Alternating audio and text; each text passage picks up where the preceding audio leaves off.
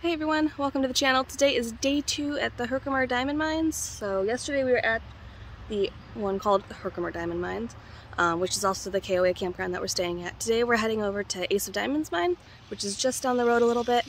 Um, it rained a little bit last night, so we're really hoping that there'll be just a little bit of um, washout and hopefully some new crystals will be exposed that were previously buried. So uh, I've got some supplies behind me. I'll go over what we're taking with us. Um, just to recommend what you should take with you if you're to be out here. Alright, so here is the gear we're taking with us. Um, we took a couple different sized strainers to sift through the loose dirt to look for small, loose herkimers. Um, if you don't want to buy a big strainer, these are at the dollar store. They work okay. You won't get the really tiny ones, but you might find something. Sunscreen, a bucket to bring home bigger finds. Um, knee pads, I'd recommend them. It makes it a lot easier to kneel down if you're hitting a rock. A couple different shovels, especially if you're going to be using the strainers. Uh, gloves are really nice to have because otherwise your hands get real beat up real fast. Uh, different types of hammers. They, uh, I think with your admission, at least at the Herkimer Diamond Mine, they give you a hammer to use and borrow if you want. But uh, we had our own, so. Safety glasses are important. They don't require them, but like, seriously, use safety glasses. It's important. Um, lots of different types of chisels. If you're gonna be working at the wall, you definitely want tough uh, chisels, but even if you're just breaking open rocks, I end up using this guy a lot. I like the, the hand guard on him, so I'm not gonna hit my hand. Um, it's our big toolbox bucket. Uh, a spray bottle wasn't super useful yesterday, but um, we ended up just using it mostly to spray the backs of our necks to cool off, and then water to drink. Um, yeah, make sure you stay hydrated out there. There's not a lot of shade. Uh, and then we have a couple different things you can store your smaller finds in. Either Ziploc baggies or we have these little containers that's with a cap that screws on that I think are going to be better at keeping uh, your your finds safe since the Ziploc bags can get holes or just not seal right and then you lose all of your finds. So something hard to store your finds in is good. Um, other than that, I didn't put a sun hat on the table. I think it's still in the tent. But uh, there's not a lot of shade. Wear a hat, bring water. Um, good shoes. I mean, there were people there in sandals yesterday, but um, we're wearing our boots. Just, it's rough terrain to walk on. You don't want to hurt your ankle, and if you drop a rock on your toe, that's no fun either. So, good boots, good hat, water, safety glasses, and something to store your finds. So that's that's that.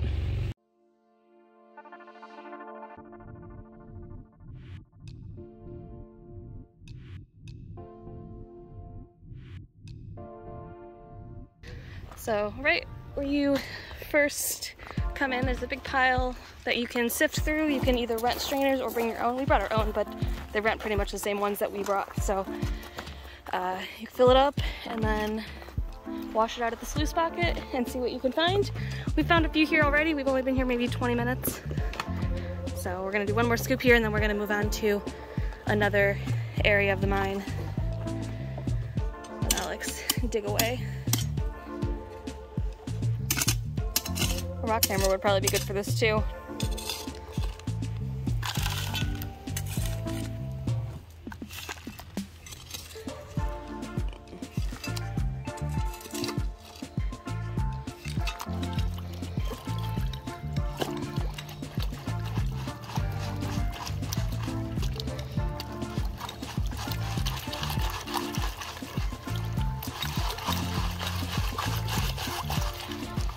So we've got the two strainers. We've got a more coarse grain strainer for the top and then a finer one for the bottom so hopefully we can catch everything.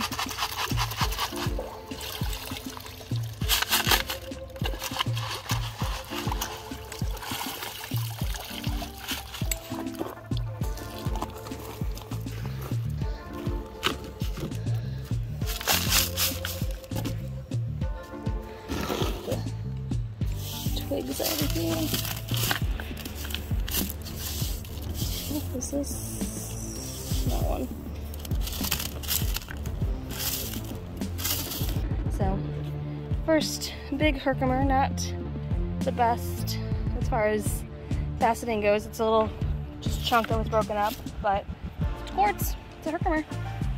Alex found a good one in his screen. Do you guys see it? Alex, where is it? There it is.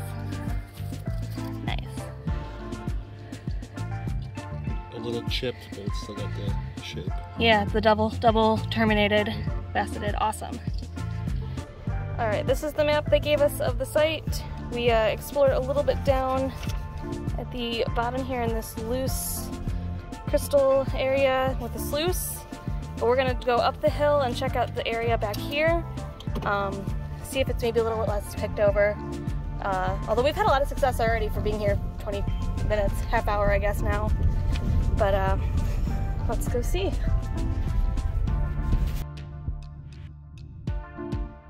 So we're parked up here, much quieter section, but tons of rock to break through. Find anything, Alex? We're hoping to find a good piece in a matrix. I see a sparkle over there. Maybe I'll go see if I can find it. You got one? Yep. Right here. Yay! I think he might have come out of this little pocket here. Nice. Success. On my sparkle rock, it ended up being a whole bunch of druze, druze quartz. Some lines in here. Maybe I'll try to break this one open. But uh, we'll see. I found this little piece just laying on the ground. Not any perfect terminations, but it's nice and clear and pretty. I like it. So this rock has a pocket with a bunch of little calcite crystals on it.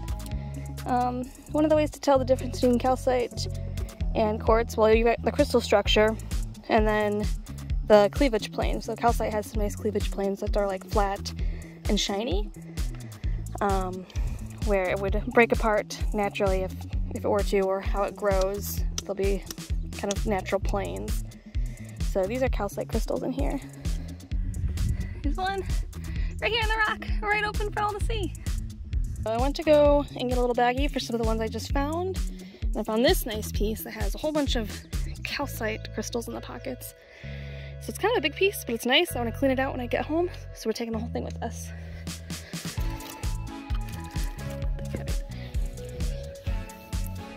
Alright, and then this one was just in the parking lot. Perfect little Herkimer in the Matrix. Just laying in the road. Just laying in the road. Crazy. Oh, Alex found something else. Oh, look at it. Hold on, let me. Another little tiny crystal just in the matrix. So cute. I just have a tiny one. Ooh. Just laying. Wait, point it out for me again for the camera. I got my glasses. He's got a little tiny one right in there. I found this little one right uh, right in there. Then he's got a whole bunch of big ones in this piece here. They're a little chipped. We got one there. We got one over here as well. So maybe some little ones there. All right, look at this. There's one, two, I thought I saw a third one. It's a little chunk here. At least three and a pebble. Ooh. Just sitting right on top of this rock. Finally came back to my rock that has the druze inside to break open those cracks. But next to it over here is a perfect little Herkimer in the matrix.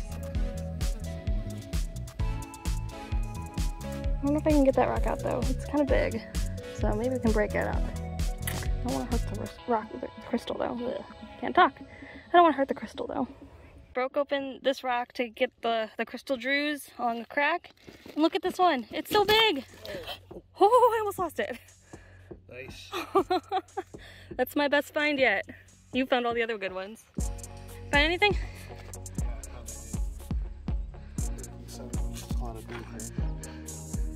Very nice.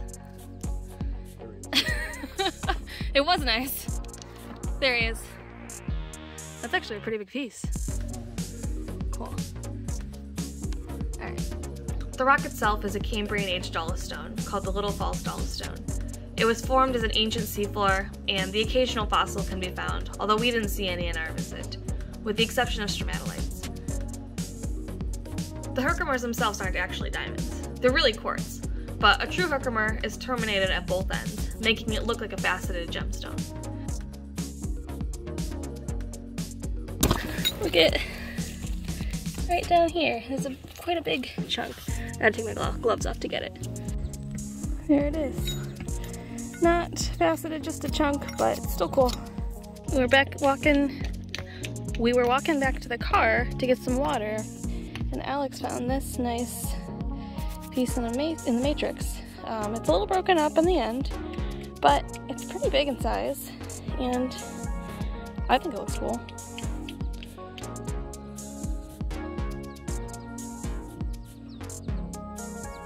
I see one in the dirt. You see it? Oh, right there. It's actually a really good sized one. Me. Let me take my glove off and get it out. Right here. Actually, that's two of them. Ah.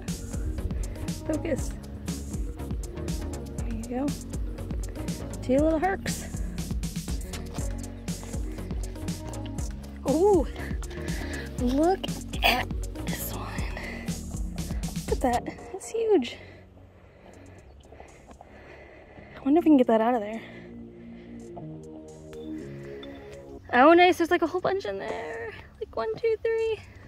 And then you got more. Got the one over there. And then there was the one on this one. Sweet. Nice calcite on the end too. Ooh. I like the calcite. It's got a good crystal structure here. This almost looks like glacial striations on this piece.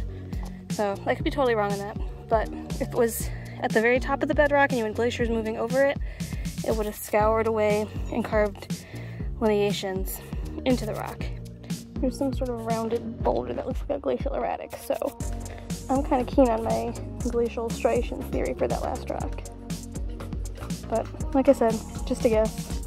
More potential striations on that big rock. I really hope I'm right. I think that's cool if that's what that is. There's a core drilling hole in that rock there.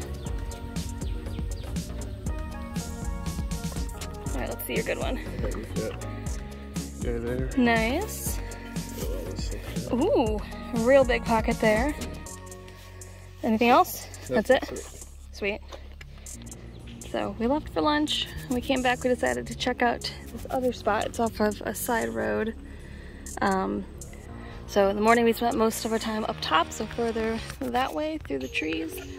Um, this is kind of the middle, and then down below is the main area where the sluicing and stuff is.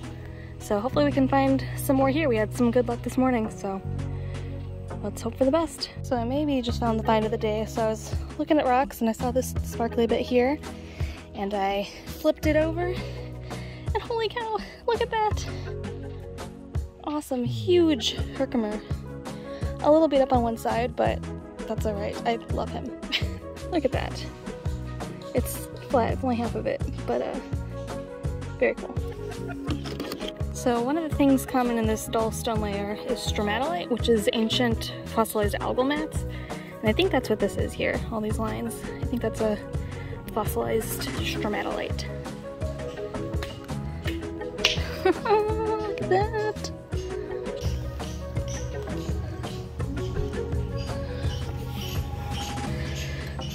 Another little perfect little Herkimer. We been a bit wary of another day of mining after finding so little next door the day before. But in the end, luck was on our side at Ace of Diamonds Mine. We ended up leaving with a few small, perfectly double terminated Herkimer diamonds, and quite a lot of chip crystals and amazing pieces still in the matrix. Overall, it was an amazing trip, and if you're ever in upstate New York, it's definitely worth the trip yourself.